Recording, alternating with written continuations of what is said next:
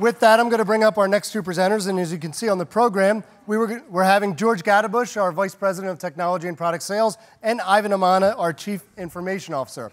You've just been upgraded because now we have Natalie McClaskey. Ivan had some travel issues, not able to get here. Natalie, McCla- Natalie McClaskey, our Director of Product Development. Thank you very much, guys. Thank you. Good. All right, where's our? All right. All right. Thank you, Natalie. We did get an upgrade. I know that uh, Tori earlier said that uh, Ivan was a genius, but Natalie's even better, so it's good. He's taught me well. I'm happy to be here today and stand in front of all of you and talk about some of our new exciting innovations. Absolutely. So let me start off here. Is this going to work? No. Magic. Told green makes it go forward. Got it. There we go. All right. So, we start off the presentation this morning when Mike mentioned changes. And nothing really change, changes faster than technology. There's always changes going on there. And I think everybody in this room feels like they grew up with technology every day, but probably is really true for the millennials, the Gen Xers. Uh, but us older folks, we remember things a little differently. They're a little bit more manual. We remember TVs that look like this, right? Anybody? And others that don't recognize that at all. And we were particularly excited when we could actually change the channels without getting out of the seat. So that was a major improvement in technology. So, I know some of the uh, millennials may picture us older folks like this, but what I really want to point out is technology, it's always evolving, it's always changing, but it's more than just microprocessors and hard drives and things like that. It is solutions that were created to solve current issues.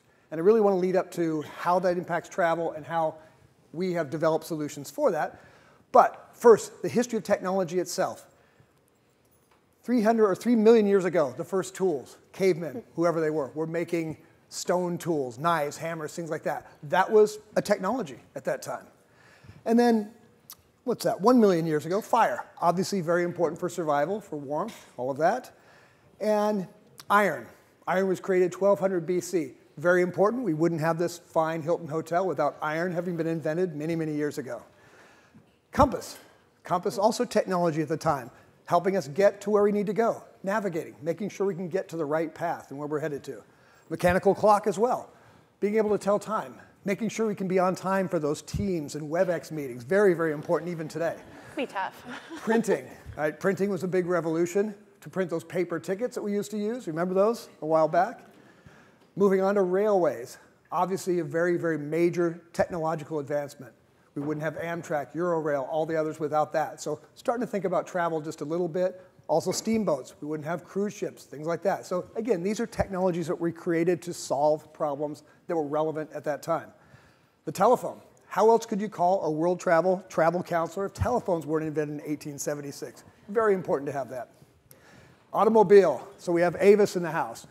We've got national, enterprise, rental cars. They wouldn't be around if the automobile were not have been invented at that time. And then airplanes, of course, with our airplane, our air partners here, Delta and Qatar and others. Again, very important to have had that as well. The computer, major technological advancement, really has led into so many things that we use today. And of course, personalizing that, bringing that back to the actual in-home users, work users, really making it an everyday tool, and the internet, of course, opening things up further. So, the history of travel technology, a little bit different there. 1952, the Magnetronic Reservisor was developed by American Airlines to show seat availability. In 1960, American Airlines Sabre installed the first real-time reservation system. 1973, this is something you don't really think about, but electronic key cards to hotels. When's the last time you got a key to a hotel room? Maybe at a Motel 6, but otherwise, probably not too likely. So, major advancement there. And even telephones, something you also would overlook very easily. But those programmable keys, calling for room service or guest service, whatever you need at the hotel, that was a big advancement as well. Then, self service booking. Sabre launches that in 1985. Here's the best part using dial-up partners such as CompuServe. Anybody remember that one? Wow. This is a throwback, go way, way back.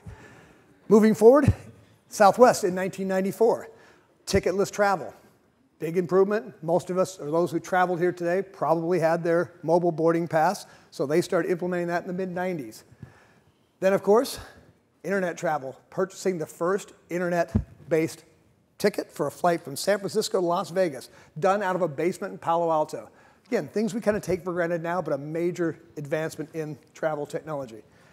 Continental Airlines, first electronic boarding passes. Again, getting things in our hands, being able to utilize them on the go with our devices, with our connectivity. And also, in-flight Wi-Fi. Many of us use that for personal things or for business while you're traveling. Again, major advancement there as well. And then mobile bag tracking in 2011. Also bringing that mobile component in so you've got access to your trip information and being able to track your bags during that time. And even the Apple Watch boarding pass was done by Lufthansa in 2015. So great stuff there. But of course, world travel is not left behind because we want to make sure that we're creating solutions, technology solutions that will meet the needs of our clients and our future clients. So the new World Mobile app, the latest iteration, which Natalie and her team have had a big hand in rolling out, that allows you to access every aspect of your trip, your past, your current, your upcoming itineraries, airline check-in, uh, access to your online booking tool, um, around me information when you get to your destination, as well as updating your profile. So very revolutionary there. And then lastly, something else that we mentioned, World VC, that World virtual card solution that allows travelers to use that tap to pay functionality on the go wherever they're at when they're checking in. So I'd like to hand over to Natalie here. Thanks, George. And we can go into some more details on those. Awesome.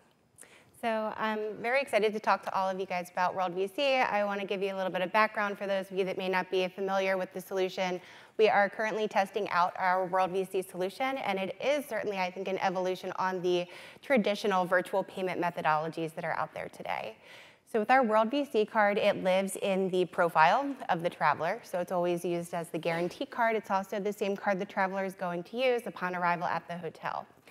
Um, another thing that makes this very unique is the fact that it's a multi-use virtual card, right? So it's that card number is not flipping out every time the traveler books a new hotel reservation. Rather, it's one card number. They have that assigned to them for a year.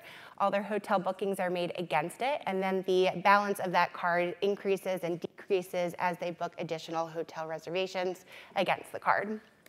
Um, of course, it is locked down, so there's merchant control so that you make sure that it's only used for what it's intended to be used for. Right now, we're focused on hotel bookings, but we do intend to expand it out to additional merchant categories um, here shortly in the future. And then, of course, one of the things that's also really valuable and different from a lot of the other virtual pay solutions out there is that you can put this digital card in your wallet. So who's used Tap to Pay? Isn't it amazing? Cool. It's like magic.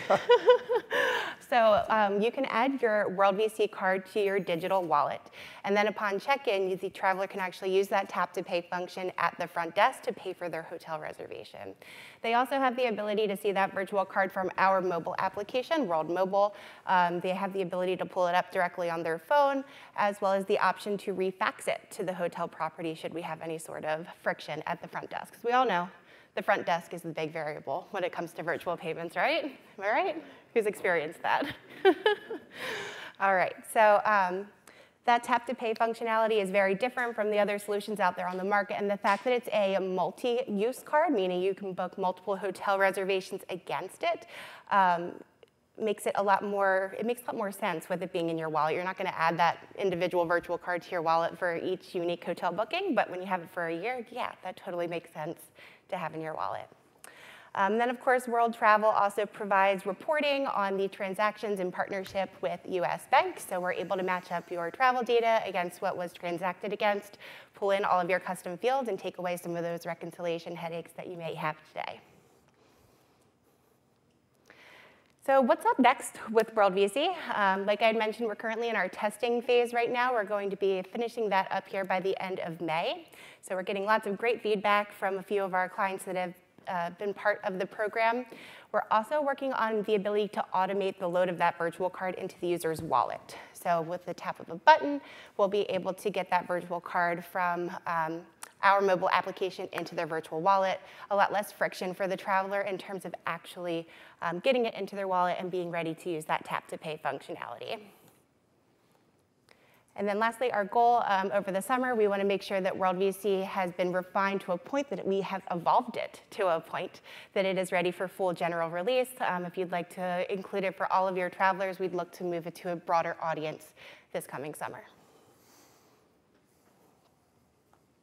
All right, World Mobile. This is an amazing solution. I'm sure a lot of you guys are already using it today.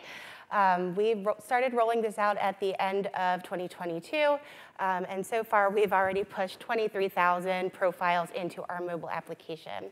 Like George mentioned, it has a lot of awesome features, including integration with different rideshare partners, integrations with your online booking tool, the ability to check into your flight, the ability to blend your, your trips, right? So that leisure experience, um, very supported by our mobile application. You can take a look at different activities that you can do while you're going to a destination, as well as actually book those activities if you'd like to do so. Um, it also allows travelers to edit parts of their profile and it sync back into the online booking tools and then down into the reservation systems. So, you know, adding something like a new frequent flyer number can easily be done from a mobile device. And of course, it's like carrying world travel in the palm of your hand. So it's one mobile app, right, that you can take with you anywhere as a traveler to help you on your journeys. You can connect with your agent team via email or via um, phone. And then you have all these awesome ancillary features as well attached to your itineraries. Oh, there she is. All right. Um, in addition, so World Mobile is an excellent solution that's out there for you all today. If you haven't heard from us about getting your travelers on board onto World Mobile, you certainly will hear in the next few weeks. Um, but something new that's coming out to our mobile app is the ability for travelers to download their invoices. So no more having to call an agent um, to get that invoice information. As a user of World Mobile, travelers will be able to go into our app and download those invoices um, and share them off from there. So I know today um, this is a little bit of, a, of an opportunity for us, right, to allow travelers to do this, and we expect here over the next few months to make that available through the app. Um, so our vision right now is that these itineraries will be available for download and sharing through World Mobile, um, starting going back until the beginning of this year. So anything booked after January 1st of 23 will be available to be downloaded from World Mobile and then used, of course, in expense platforms.